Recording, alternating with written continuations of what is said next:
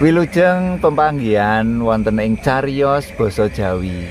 Bapak saha ibu lan sedulur-sedulur katresnan mugi kahananipun sami sehat bagas waras, mboten kirang menapa kemawon.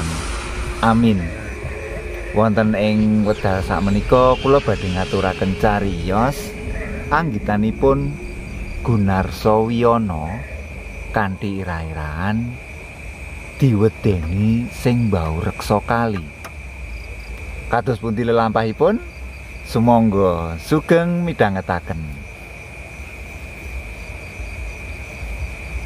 Wis sawetara suwe darsa tengok-tengok ngenteni kancane sing kang senan arep mancing menyang kali praga kali praga mono arahe saka kutha Yogyakarta mengulon.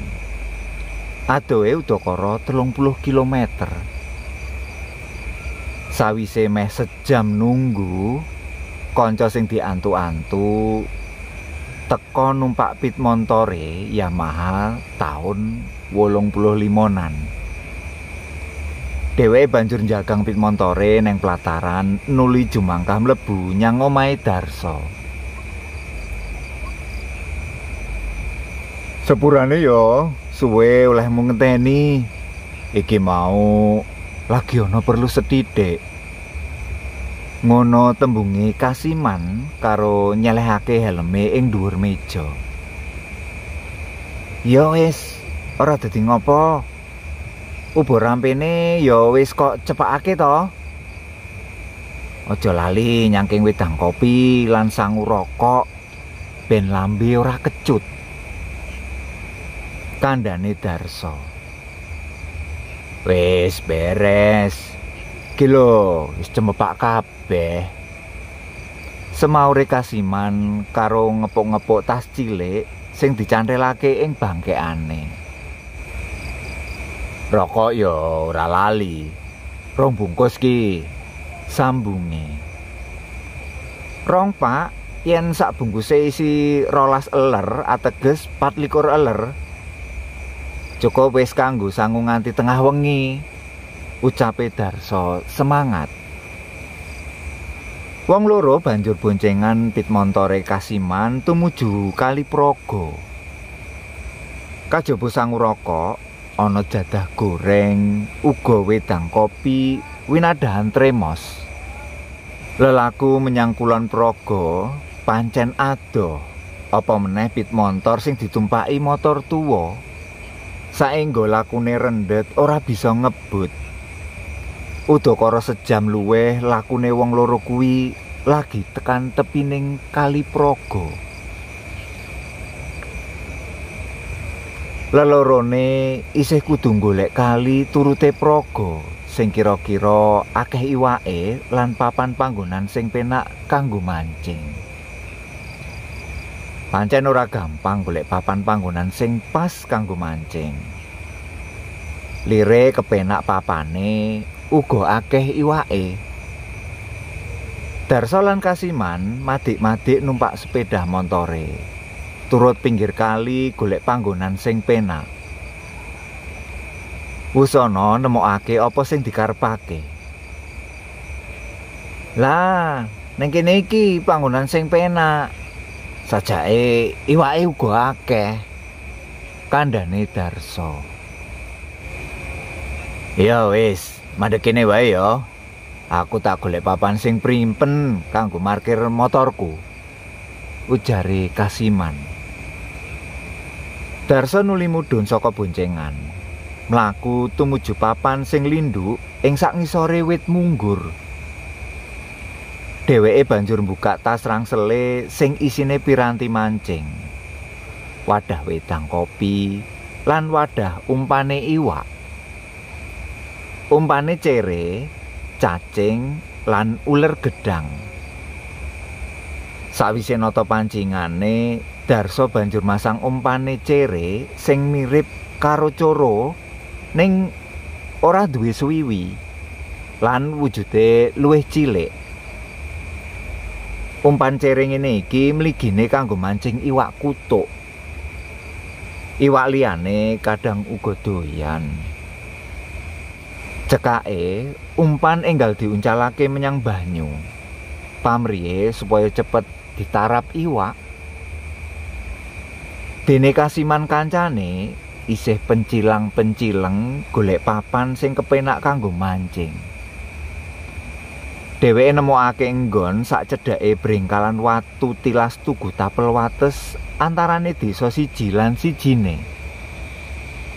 Kurang cetha Geneo tugu tapel wates iku dirubuhake. Dheweke banjur lungguh neng buk semen karo ngetokake ubur rampene lan sangune mancing.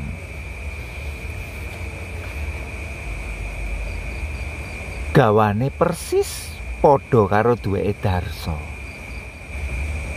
Gancangan Kasiman banjur nguncalake pancinge ing tengah kali.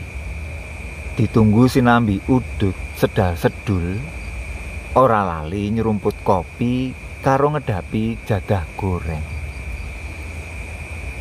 srengenge wis ngimbang mengulon karang budale uga wis para awan Darso sing posisine rada adoh karo kasiman dumadaan pancinge krasa digondol iwak ketara kambangane obah-obah banjur mlayu banter minggir lan ambles nang ngisor wit lompong sing rembuyung. Darso age-age nyendal pancinge. Iwak kutuk sak lengen gedene kapit-kapit ing pancinge Darso. Man, aku oleh iwak kutuk, gede iki lho. Jan elok tenan anggone gondol pancingku. Darso bengok soro saking senenge Kasiman mesem nyawang saka kadoan. Batine ewa Darso entuk iwak kutuk gede sebab wis suwe pancinge dheweke ora digondol iwak. Lagi wae ngudaroso, ujug-ujug pancinge Kasiman uga digondol iwak. Nanging iwake pola ogal-ogel satemah ucul meneh. Kasiman cuwo. Durung wae walesan dipinggirake, iwake wis kebajut merucut. Heh, alah. Apes awak mami. Iwake ngogel-ogel. Hmm. Grenenge Kasiman. Ora rinoso, srengenge wis angslup. Wayahe ngancik peteng. Nuju tengah wengi Darso lan Kasiman oleh iwak lumayan. Kepise kebak. Saking katreme mancing, nganti ora krasa wancine ngremet nyedaki lingsir wengi. Udakara jam rolas, dumadaan ana watu gedhe dibandemake menyang tengah kali, ora ado saka papane Darso lungguh.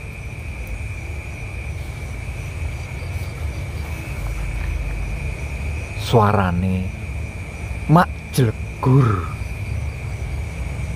Darso ngadeg maknyat karo plingukan goleki dununge kasiman raupane mangar-mangar Oi, man. Rasa gawe-gawe ya. Balangi watu. Darso bengok. awe dheweke ora ngira yen sing balang watu mau kasiman. Dudu aku yo. Iki aku lagi nyendal pancingku sing digondol iwak. Karo meneh apa kurang gawean to dadak balangi barang. Wangsulane kasiman saka kadoan. Ora wetara suwe ana watu dibandemake menyang kali lan tiba ana sacedhake kasiman. Wah, iki mesti gaweane Darso. Miwales ceritane. Kamangka dudu aku sing mau bandem dheweke. Ah, wis ben wae. Mengko yen diaru-arui mundak saya nesu. Ngono grundelane Kasiman.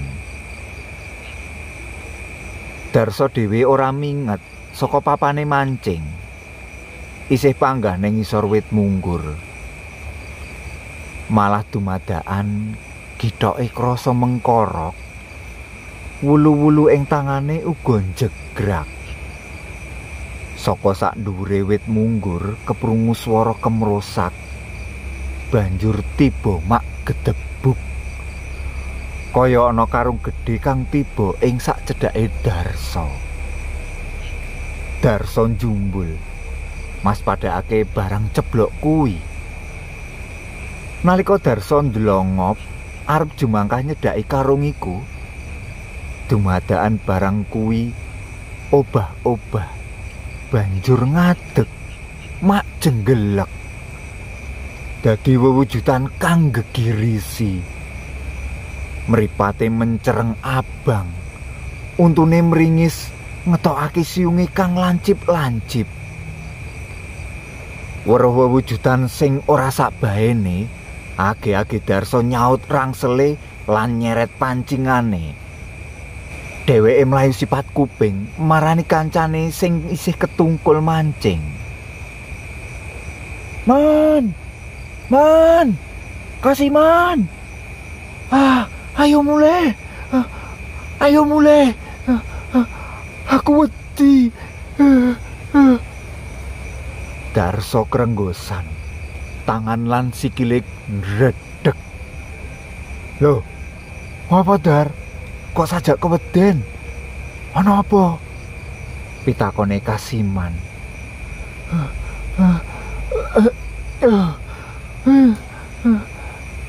Darso isih noto ambegan. Umur apa? Omong sing cetha. Sareno atimu dhisik to. Iki ngombe kopiku ki Kasiman ngiling wedang kopi saka termos nuli diulungake Darso. Kanthi ambegan isih melar mingkus, Darso ngombe wedang kopine. Sawetara rada sareh dheweke banjur nyeritakake prastawa sing mentas dialami. Sajake aku dimungsuhi demit kang bau reksa ning wit munggur kae. Sajak ora lilo aku mancing ana kono. Darso jlentrehake. Keprungu cerita mengkono, Kasiman melu merinding. Mripate Kasiman gatekake pernah wit munggur sing mung katon remeng-remeng ireng saka kaduan. Praupane uga dadi pucet. Dheweke age-age ngukupi piranti mancinge lan ngringkesi barang-barange. Ya wis. Ya wis, Dar. Ayo mulai wae, Dar. Mumpung demite durung pati muring marang awake dhewe. Doh blaine awake dhewe ora bisa mulih. Pratelane Kasiman. Kekarone enggal marani panggonan sepeda motore Kasiman sing disingetake ing grumbulan. Starter dipancal, gas diuntir, banjur ngeblas saka kali progo.